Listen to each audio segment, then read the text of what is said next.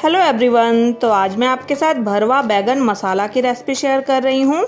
तो आप यहाँ पे देख सकते हैं, सब्ज़ी बहुत ही टेम्पटिंग दिख रही है, बहुत ही टेस्टी बनी भी है।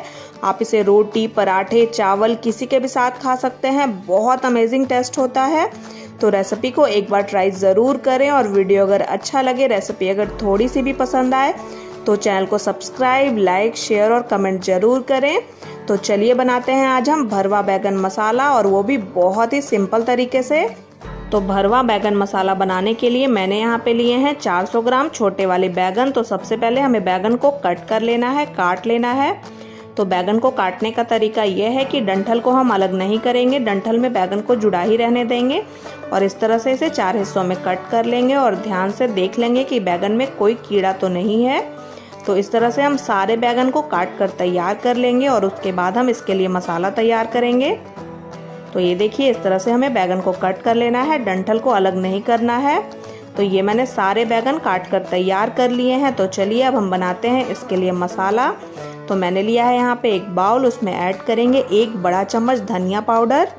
और ये है एक बड़ा चम्मच लाल मिर्च पाउडर। अगर आप तीखा नहीं खाते हैं तो यहाँ पे कश्मीरी लाल मिर्च पाउडर का भी यूज़ कर सकते हैं, या फिर आधा तीखा और आधा कश्मीरी लाल मिर्च पाउडर का भी यूज़ कर सकते हैं। मैंने यहाँ पे पूरा तीखा वाला ही लाल मिर्च पाउडर लिया है, और उसके बाद मैंने इसमें ऐड कर दिया है एक छोटा चम्मच जीरा पाउडर, आधा छोटा चम्मच काली मिर्च पाउडर, और ये है एक छोटा चम्मच गरम मसाला पाउडर, जिससे इसका टेस्ट बहुत अच्छा आता है। तो आप इसमें गरम मसाला पाउडर ज़रूर ऐड कीजिएगा। और उसके बाद मैंने यहाँ पे लिया है एक बड़ा चम्मच आमचूर पाउडर खटास के लिए। और ये है स्वाद अनुसार नमक। सभी चीज़ों को अच्छे से पहले हम मिक्स कर लेंगे। और उसके बाद इसमें थोड़ा थोड़ा पानी डालकर मसाले को थोड़ा सा गीला भी कर लेंगे। क्योंकि जो सूखा सूखा मसाला है वो बैगन में अच्छे से स्टफ़ नहीं हो पाएगा। और यहाँ पे मैंने हल्दी पाउडर का यूज़ नहीं किया है। आप चाहें तो आधा छोटा चम्मच हल्दी पाउडर भी इसमें ऐड कर सकते हैं। मैंने बाद में ग्रेवी में ऐड किया है। तो मसालों को थोड़ा थोड़ा पानी डालकर इस तरह हम अच्छे से मिक्स कर लेंगे। बहुत पतला हमें नहीं करना है इसे। थोड़ा गाढ़ा गाढ़ा सा ही रखना है। तो ये देखिए मसाला अच्छे से मिक्स हो चुका है। अब हम इसे बैगन में भर लेते हैं। तो किस तरह से भरना है मैं आपको बताती हूँ। बहुत ज़्यादा मसाला हमें बैगन में नहीं स्टफ़ करना है और बाहर की तरफ़ तो मसाला बिल्कुल भी नहीं होना चाहिए। अंदर अंदर इस तरह से चम्मच या फिर हाथ की मदद से आप मसाले को डाल दें और जो भी बाहर लगे मसाला उसे आप हटा लें चम्मच से। इस तरह से। और इस तरह से हम सारे बैगन स्टफ़ करके तैयार कर लेंगे। और थोड़ा थोड़ा ही मसाला इसमें भरना है, ये देखिए। बस इस तरह से हम इसमें मसाला स्टफ़ करके तैयार कर लेंगे। मैं आपको और भी बैगन भर कर दिखाती हूँ। ये देखिए इस तरह से। बीच में आपको बिल्कुल मसाला डाल देना है थोड़ा थोड़ा दोनों साइड से।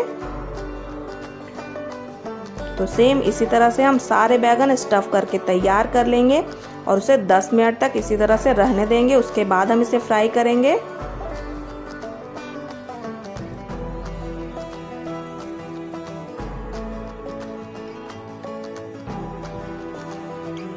तो ये देखिए, सारे बैगन मैंने स्टफ़ कर लिए हैं और ये जो थोड़ा सा मसाला बचा है, इसका यूज़ हम ग्रेवी में करेंगे। और इसके अलावा हम कोई भी मसाला नहीं यूज़ करने वाले हैं। तो यहाँ पे मैंने कढ़ाई को भी रख दिया है गर्म होने के लिए। बैगन को स्टफ़ किए हुए लगभग 10 मिनट हो चुके हैं। तो कढ़ाई में मैंने ऐड कर दिया है तीन बड़े चम्मच सरसों का तेल। आप जो भी तेल खाते हैं उसमें बना सकते हैं, लेकिन सरसों के तेल में ये रेसिपी बहुत टेस्टी बनती है। तो सारे बैगन मैंने इसमें ऐड कर दिए हैं। फ्लेम को यहाँ पे लो रखा है। सबसे पहले इसे अच्छे से हम तेल में मिक्स कर लेंगे, ताकि बैगन के ऊपर अच्छे से तेल की एक लेयर चढ़ जाए। और उसके बाद इसे ढककर आराम से पाँच मिनट तक पकने देंगे। और उसके बाद फिर से हमें एक बार इसे चलाना है, पलटना है। अगर आप बैगन को सूखा सूखा ही खाना चाहते हैं, इसकी ग्रेवी नहीं बनाना चाहते हैं तो आप यहाँ पे बैगन को 100 परसेंट पका लें। लेकिन इसके लिए मैं ग्रेवी बनाने वाली हूँ तो इसे मैं यहाँ पे 70 परसेंट ही पकाऊँगी, पूरा नहीं पकाऊँगी। बाकी का 30 परसेंट हमारे बैगन ग्रेवी में जाकर पकेंगे। तो ये देखिए, यहाँ पे बैगन को पकते हुए लगभग सात से आठ मिनट हो चुके हैं।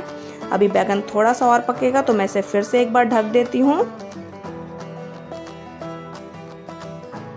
और ये देखिए, अब बैगन हमारे लगभग 70 परसेंट पक चुके हैं, काफ़ी सॉफ्ट हो चुके हैं। तो इसे हम एक प्लेट में निकाल लेंगे और उसके बाद हम ग्रेवी तैयार करेंगे बैगन के लिए।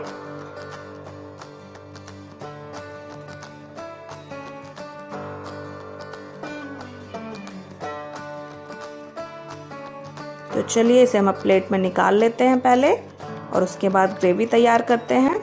तो बैगन फ्राई हो चुके हैं और ये जो बाकी का बचा हुआ तेल है, इसी में हम ग्रेवी बनाकर तैयार करेंगे। और इस ग्रेवी में जो थोड़े बहुत मसाले हैं, उससे बहुत ही अच्छा टेस्ट आता है ग्रेवी में।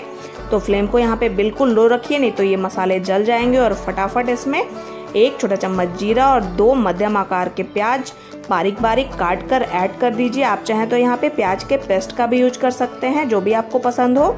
तो प्याज को हम दो से तीन मिनट तक अच्छे से भून लेंगे, लो टू मीडियम फ्लेम पे, जब तक कि प्याज थोड़े सॉफ्ट ना हो जाएँ। तो ये देखिए, यहाँ पे प्याज भून चुका है। उसके बाद मैंने यहाँ पे ऐड कर दिया है एक बड़ा चम्मच अदरक लहसुन का पेस्ट। इसे भी अच्छे से मिक्स करेंगे और थोड़ा भून लेंगे। अदरक लहसुन का जो पेस्ट है, उसका कच्चापन बिल्कुल दूर हो जाना चाहिए यहीं पे। तो ये देखिए, यहाँ पे अदरक लहसुन भी अच्छे से भून चुका है। इसके बाद जो थोड़ा सा मसाला हमने बचाया था, उसे मैंने थोड़े से पानी के साथ घोल कर इसमें ऐड कर दिया है और इसे भी हम दो से तीन मिनट तक अच्छे से पकने देंगे मीडियम फ्लेम पे ही। फ्लेम को हाई ना करें। इस तरह से जब आप कोई भी सब्ज़ी लो टू मीडियम फ्लेम पे बनाते हैं तो मतलब उसका टेस्ट बहुत ही ज़्यादा बढ़ जाता है हाई फ्लेम पे बने हुए सब्ज़ी की अपेक्षा। तो यहाँ पे मैंने थोड़ा सा हल्दी पाउडर भी ऐड कर दिया है, आधा छोटा चम्मच। ताकि हमारी सब्ज़ी में अच्छा सा कलर भी आ जाए, क्योंकि हल्दी डालना मैं पहले भूल गई थी। और इसके बाद ऐड कर दिया है दो मध्यम आकार के टमाटर, बिल्कुल छोटे छोटे टुकड़ों में कट करके, और इसे भी अच्छे से मिक्स कर देंगे, और उसके बाद मसालों को थोड़ा सा ढक कर पकने देंगे, जिससे हमारे टमाटर भी गल जाएँगे और मसाले भी अच्छे से पक जाएँगे। तो आप यहाँ पे देख सकते हैं कि मसाले कितने अच्छे से पक चुके हैं, लगभग दो से तीन मिनट तक। मैंने बस मसालों को ढक दिया था। तेल बिल्कुल अलग होना स्टार्ट हो गया है तो थोड़ा सा स्पैचुला की हेल्प से हम टमाटर के टुकड़ों को अच्छे से प्रेस करेंगे, इसे अच्छे से मिक्स कर देंगे मैश कर देंगे। तो ये देखिए कितने अच्छे से सभी चीज़ें मिक्स हो चुकी हैं, भून चुकी हैं। तो यहाँ पे हम ऐड कर देंगे अपने ज़रूरत के हिसाब से थोड़ा पानी और थोड़ा नमक, जितनी भी आपको ग्रेवी चाहिए उस हिसाब से। तो ये मैंने इसमें थोड़ा सा नमक भी ऐड कर दिया है, अच्छे से मिलाएँगे और उसके बाद जो बैगन हमने फ्राई करके रखा है, उसे इसमें ऐड कर देंगे। तो यहाँ पे आपको देखकर ही समझ में आ रहा होगा कि सब्ज़ी कितनी टेस्टी बनने वाली है और रियली में आप बिलीव कर सकते हैं, बहुत ही अमेजिंग सब्ज़ी बनकर तैयार हुई थी, बहुत टेस्टी। ये सब्ज़ी मेरे घर में हर किसी को बहुत पसंद है।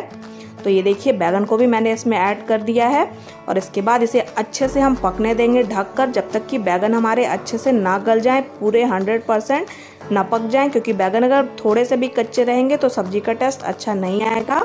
तो सब्ज़ी को पकते हुए यहाँ पे लगभग आठ से दस मिनट हो चुके हैं, बैगन पूरी तरह से पक चुके हैं, लेकिन यहाँ पे मुझे ग्रेवी थोड़ी सी ज़्यादा लग रही है तो सब्ज़ी को मैं थोड़ा सा सुखा लेती हूँ। तो ये देखिए, सब्ज़ी बिल्कुल रेडी हो चुकी है। फ्लेम को मैंने ऑफ़ कर दिया है। ऊपर से हम ऐड कर देंगे बारीक कटा हुआ हरा धनिया और उसे भी अच्छे से मिक्स कर लेंगे। तो गर्मा गर्म भरवा बैगन मसाला बनकर बिल्कुल तैयार है। बहुत ही टेस्टी बना है। बहुत अच्छी खुशबू आ रही है इसमें से। तो रेसिपी अगर अच्छी लगी हो फ्रेंड्स तो चैनल को सब्सक्राइब लाइक शेयर और कमेंट ज़रूर करें। अगर फेसबुक पेज पे देख रहे हैं तो लाइक कमेंट और फॉलो करें। और अगर रेसिपी को ट्राई करते हैं तो मुझे कमेंट में ज़रूर बताइए कि आपको ये रेसिपी कैसी लगी। और प्लीज़ अपने दोस्तों के साथ शेयर भी ज़रूर कीजिए, अगर रेसिपी थोड़ी सी भी पसंद आती है आपको। कुछ भी अलग बनवाना चाहते हैं, नया बनवाना चाहते हैं तो मुझे आप कमेंट बॉक्स में बता सकते हैं। तो मिलते हैं हम नेक्स्ट रेसिपी के साथ नेक्स्ट ब्लॉग में। Bye bye thank you for watching